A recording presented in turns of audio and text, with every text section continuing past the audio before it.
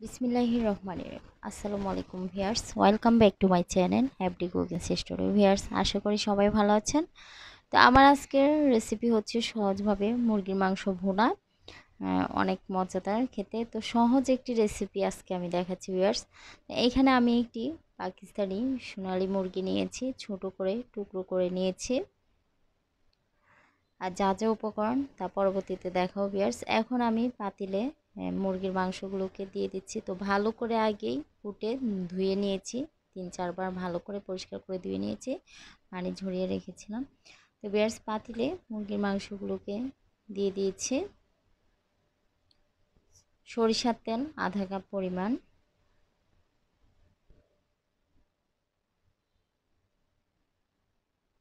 লবণ, হাফ চা চামচ পরিমাণ। হলুদ গুঁড়ো, হাফ চা চামচ পরিমাণ। মরিচ গুঁড়ো, হাফ চা চামচ পরিমাণ। দিয়ে ভালো করে নেড়ে ছেড়ে আমি মুরগির মাংসগুলোকে একটু সিদ্ধ করে নিব। এবার চুলা আঁচটা মিডিয়াম আঁচে রেখে মুরগির মাংসগুলোকে চার পাঁচ মিনিটের জন্য সিদ্ধ করে নেব। আর দিয়ে দিচ্ছি পানি এক কাপ পরিমাণের মতো।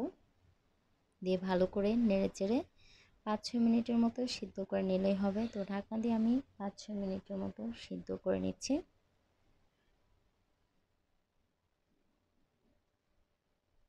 এবার সেজে পাঁচ ছয় মিনিট পর ফিরে আসলাম। দেখুন, মুরগির মাংসগুলো হাফ বয়েলড হয়ে গিয়েছে।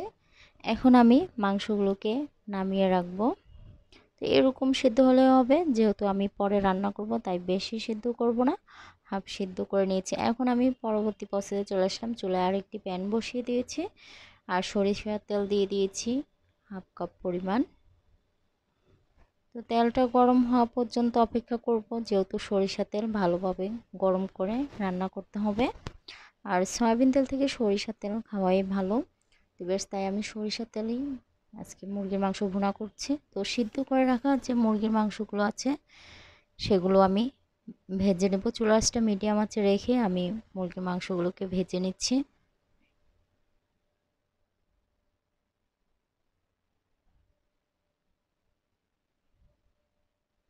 ওয়ার্স মুরগির মাংসগুলোকে পাঁচ ছয় মিনিটের মতো ভেজে নিলেই হবে। তাহলে দেখবেন যে পারফেক্ট ভাজা হয়ে গিয়েছে। তো সহজভাবে মুরগির মাংস ভুনা করে খাওয়া যায়।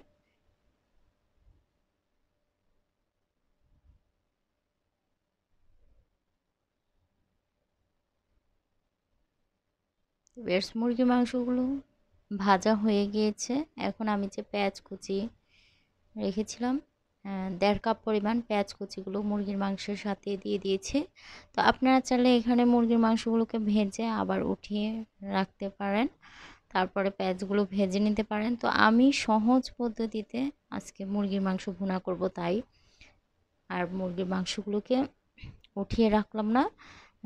ওই মুরগির মাংসের সাথে আমি পেঁয়াজগুলো দিয়ে দিয়েছি। তো চুলা চুলাসটা মিডিয়াম আঁচে রেখে পেঁয়াজ আর মুরগির মাংসগুলো আমি ভেজে নেব।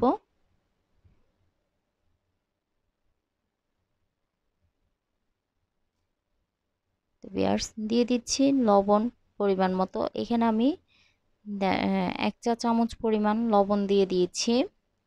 হলুদ গুঁড়ো হাফ চা চামচ পরিমাণ। মরিচ গুঁড়ো হাফ চা চামচ পরিমাণ। আর এখানে আমি আদা, রসুন, পেঁয়াজ বাটা একসাথে করে নিয়েছিলাম, সেগুলো দিয়ে দিচ্ছি। তো আলাদা দেখায় নেই। এখানে আমি তিন টেবিল চামচ পরিমাণ আদা, রসুন পেঁয়াজ বাটা দিয়ে দিয়েছি। আর দিয়ে দিচ্ছি গরম মশলা। দুই চা চামচ পরিমাণ। দিয়ে ভালো করে নেড়ে চেড়ে দিচ্ছি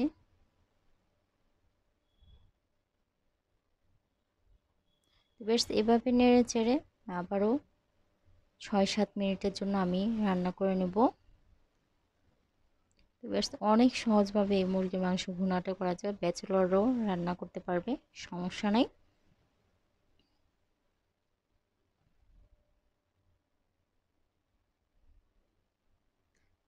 হালকা ব্রাউন কালার হওয়া পর্যন্ত আমি নেড়ে চেড়ে মাংসটাকে ভুনা করে নেব।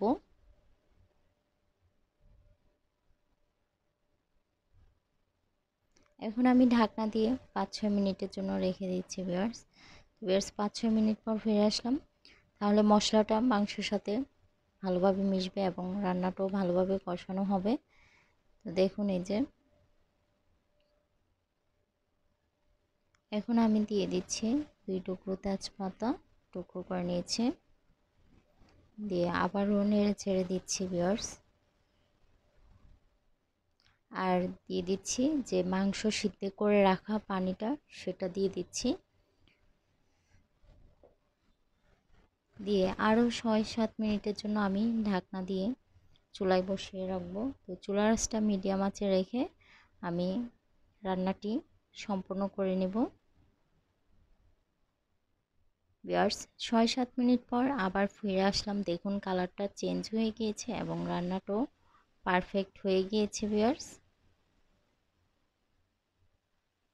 তো আপনারা একটু নেড়ে চেড়ে রান্না করে নেবেন, সমস্যা নাই।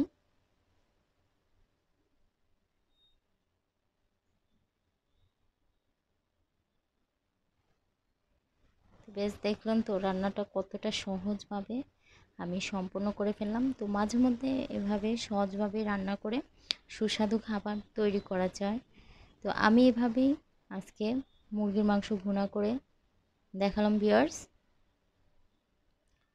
তো আপনাদেরকে পরিবেশন করে দেখাচ্ছি কতটা সুন্দর হয়েছে আমার এই রান্নাটা। এবার সেজে আপনাদেরকে পরিবেশন করে দেখাচ্ছি। দেখুন কতটা সুন্দর হয়েছে। তো অনেক সহজভাবেই মাঝ মধ্যে রান্না করে এভাবে খেতে হয় বিয়ার্স। তো আমার রেসিপিটি কেমন হয়েছে অবশ্যই কমেন্ট বক্সে কমেন্ট করে জানাবেন বিয়ার্স। দোয়া করবেন আমাদের সবার জন্য সবাই। আসসালামু আলাইকুম। আল্লাহ হাফেজ।